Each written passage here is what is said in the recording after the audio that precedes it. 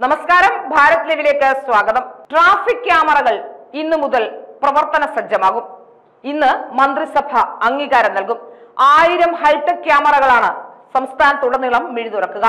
Traffic നിയമലംഘനങ്ങൾ കണ്ടെത്തി പിഴ ഈടാക്കുന്നതിന് സംസ്ഥാനത്തുടനീളം സ്ഥാപിച്ചിട്ടുള്ള എഴുന്നൂറ്റി ഇരുപത്തിയാറ് നിർമ്മിത ബുദ്ധി ക്യാമറ അതായത് ആർട്ടിഫിഷ്യൽ ഇന്റലിജൻസ് വഴി പ്രവർത്തിക്കുന്ന ക്യാമറ ആയിരം പുതിയ ഹൈടെക് ക്യാമറകൾ പ്രവർത്തിപ്പിച്ചു തുടങ്ങാനുള്ള അനുമതി ഇന്ന് നടക്കുന്ന മന്ത്രിസഭാ യോഗം നൽകും. ക്യാമറകൾ പ്രവർത്തിക്കുന്നതിന് തടസ്സമായിരുന്ന സെർവർ പ്രശ്നങ്ങൾ പരിഹരിച്ചു കഴിഞ്ഞുവെന്ന് മോട്ടോർ വാഹന വകുപ്പ് ഗതാഗത വകുപ്പിനെ അറിയിച്ചിരിക്കുന്നു. വാഹന ഉടമകളിൽ നിന്നും വൻതോതിൽ പിഴ ഈടാക്കാൻ ലക്ഷ്യമിടുന്ന പദ്ധതിയായതിനാൽ മന്ത്രിസഭാ യോഗത്തിന്റെ പരിഗണനയ്ക്ക് വിടുകയായിരുന്നു.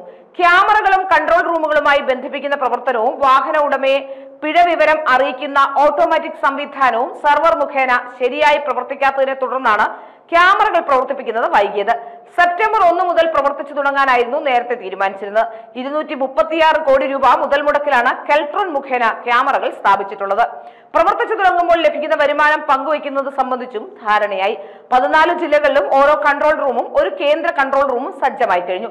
ഇവിടെയെല്ലാം R T O M V I A M V I റാങ്കിലുള്ള ഉദ്യോഗസ്ഥർക്ക് പുറമെ പിഴയടയ്ക്കാനുള്ള ചെലാൻ പ്രോസസിംഗ് സ്റ്റാഫിനെയും നിയോഗിക്കും. സീറ്റ് ബെൽറ്റ് ഹെൽമറ്റ് എന്നിവ ഉപയോഗിക്കാതിരിക്കുക ഇരുചക്ര വാഹനങ്ങളിൽ രണ്ടിലധികം പേർ യാത്ര ചെയ്യുക ഡ്രൈവിംഗിനിടെ മൊബൈൽ ഫോൺ ഉപയോഗിക്കുക നമ്പർ ബോർഡ് സ്കാൻ ചെയ്ത് വാഹൻ വെബ്സൈറ്റിലെ വിവരങ്ങളുമായി ഒത്തുനോക്കും. രേഖകൾ കൃത്യമല്ലെങ്കിൽ ക്യാമറ കണ്ടെത്തും. പെർമിറ്റ് ഇൻഷുറൻസ് ഫിറ്റ്നസ് രജിസ്ട്രേഷൻ എന്നിവയില്ലാത്ത വാഹനങ്ങളെ തിരിച്ചറിഞ്ഞും പിഴ ഈടാക്കും ക്യാമറകൾ രാപ്പകൽ കുറ്റം കണ്ടെത്തുന്നതാണ് വാഹനം ഓടിക്കുന്നവർക്ക് വെല്ലുവിളിയാകാൻ പോകുന്നത്.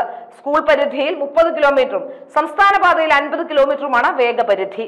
ക്യാമറ ഇരുപത്തിനാല് മണിക്കൂറും പ്രവർത്തിക്കുന്നതാകയാൽ രാത്രിയിലും ഈ നിയമം പാലിക്കുക തന്നെ ചെയ്യേണ്ടി വരും.